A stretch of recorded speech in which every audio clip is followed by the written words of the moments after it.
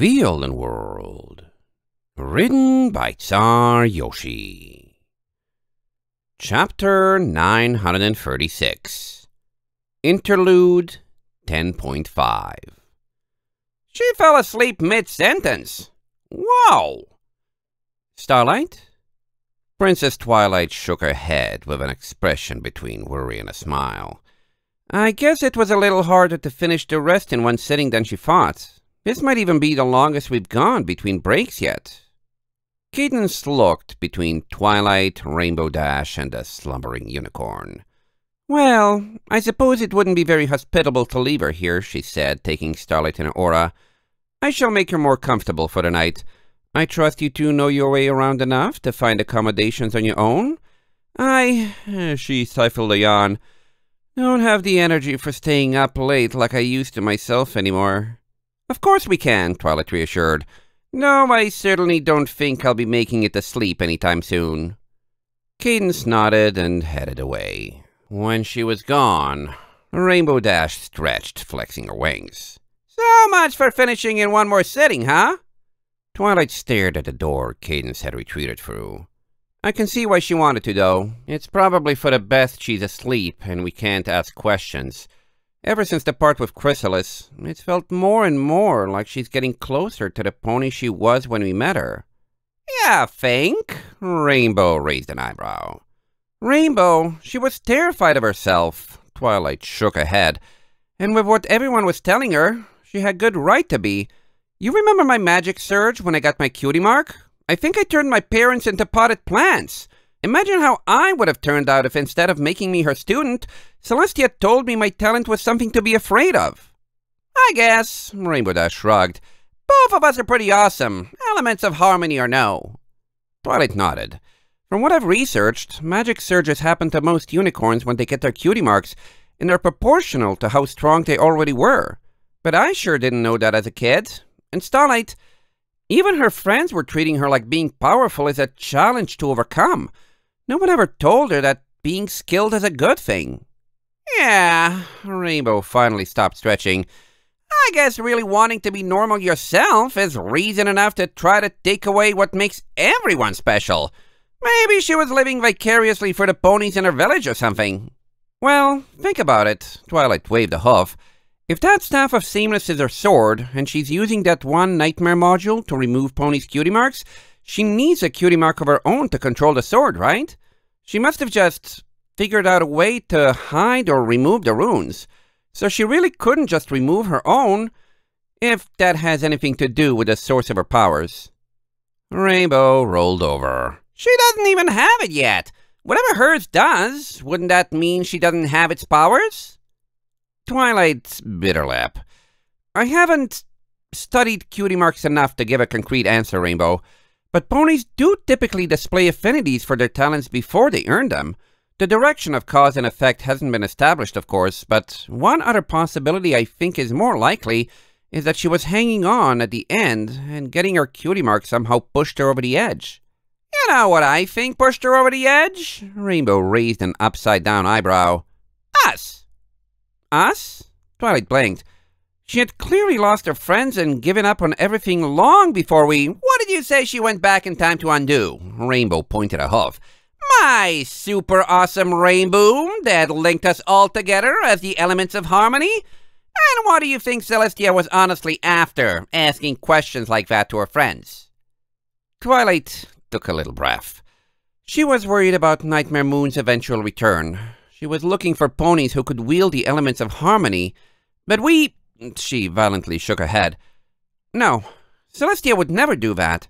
She would never abandon Starlight's friends or let something bad happen to them just because she later found us instead. I'm just saying, Rainbow pressed. Doesn't Amber go on about how she's inspired to help everyone stay positive through bad situations? And doesn't Felicity get in big trouble because she never lies about her own feelings as some kind of personal oath? and Maple literally used kindness to fend off those mercenaries without harming them. You really think there's nothing, nothing, nothing here? Twilight sighed. I wouldn't be surprised if Starlight is aware of the connection, and I believe you that's what Celestia was doing, But Starlight didn't mention a word about that to me while we were in the time loop. It wasn't about writing things for her at all. All she was interested in was revenge for what we did at her village. Rainbow shrugged. Eh, I guess. You were the one who was stuck with her.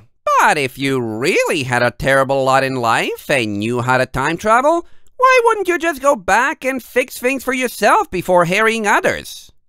That's part of why I don't think that time travel had anything to do with helping herself. Twilight got up and took three steps, stopping and standing in the middle of nowhere. I don't think Starlight was willing to intervene or change things on her behalf, and it has to be because she knew it would be pointless. Doesn't seem that pointless to me. Not pointless to do what? Try to improve her life when she's clearly miserable?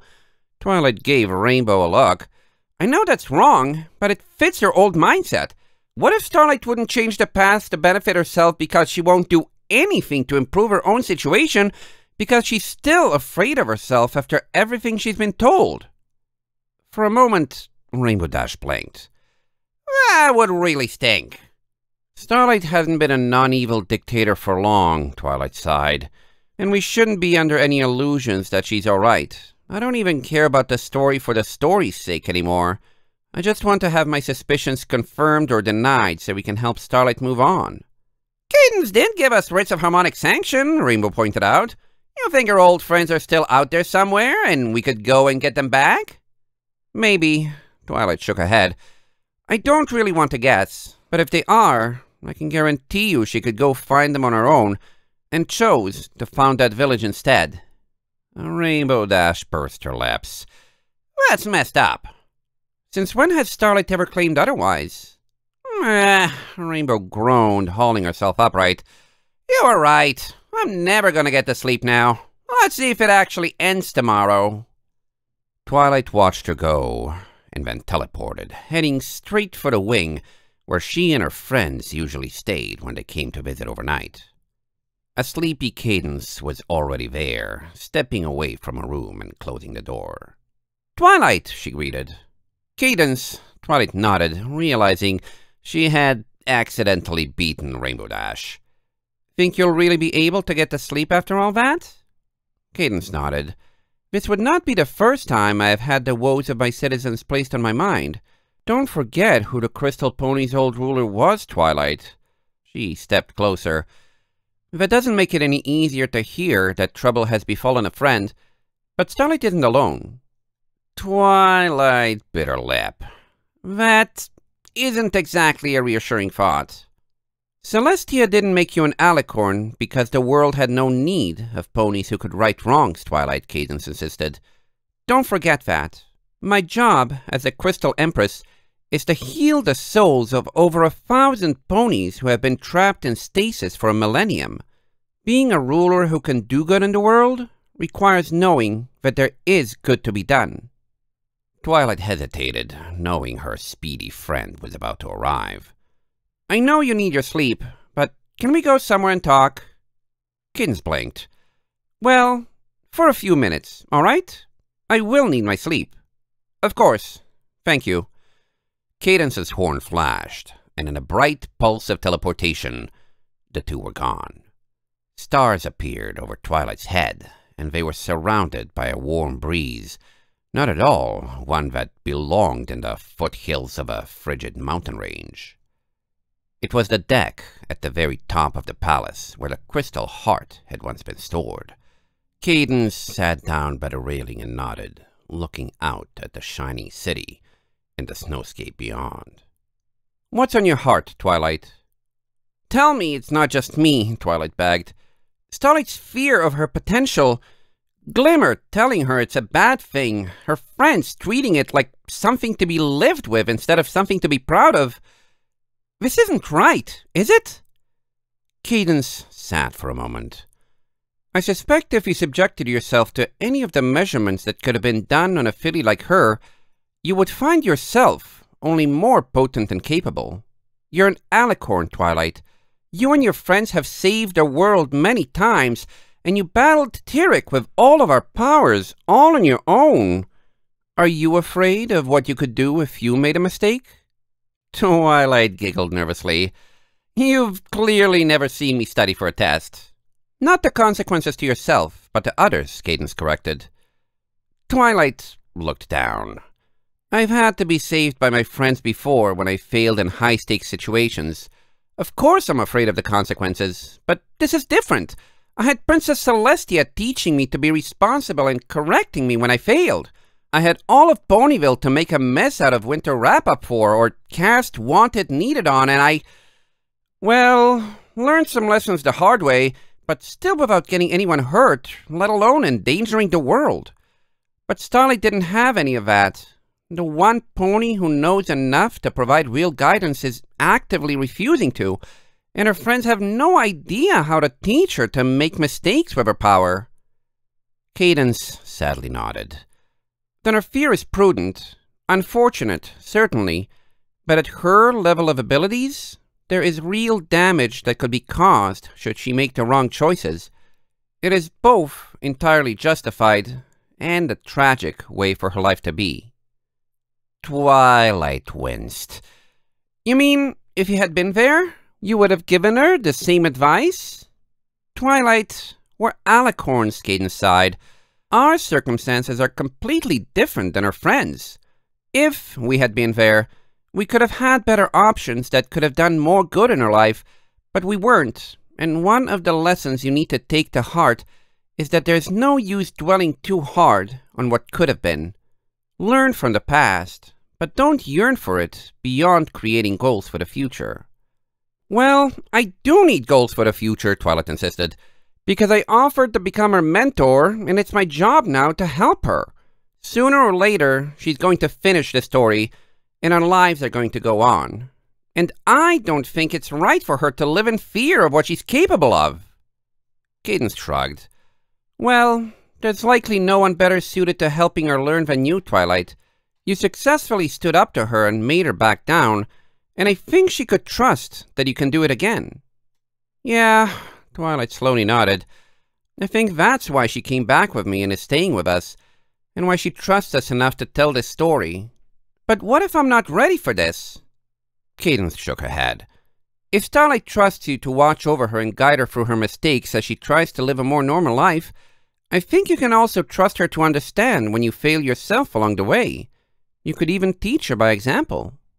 Twilight exhaled. Part of me still wants to run off to the north and see if there's anything I can do to fix what happened back then. You did give me this, after all. A writ is good for a lifetime, Twilight, Cadance replied. You could wait a year, or even ten, and it will be just as potent as ever. The writ wasn't given to you because you needed to go now, but so that you could choose to go if you ever decided the time was right. But I wouldn't be surprised if that lies somewhere in your and Starlight's futures. Twilight folded her ears. She probably wants nothing more than to settle down in Ponyville and live normally for a while. We went sledding with Pinkie Pie and Rainbow Dash during the break in the story the other day, and she loved it. Cadance wrapped a wing around her. If it makes it any easier, once Shining and I have our foal, I suspect her magical prowess could be hard to keep in check. She glanced down and softly giggled. It will be quite a hoofful, raising them properly, but you won't be the only one trying to teach someone who's too powerful to know what to do with it. Yeah, Twilight glanced down as well. Thanks for the talk, but I should let you go to bed. If you're tired these days... Don't remind me, Cadance groaned and stood up. Just remember, once the story is done, you'll be back to living the rest of your life. It's the future that matters, Twilight. And there's a whole future out there for you to help Starlight do better than anywhere she's been, and anything that's happened before. Right, Twilight resolutely nodded. I won't let her down. End of chapter 936.